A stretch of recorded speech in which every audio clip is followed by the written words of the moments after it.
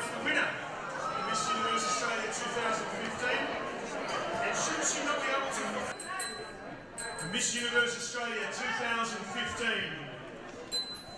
from New South Wales, Monika Adore.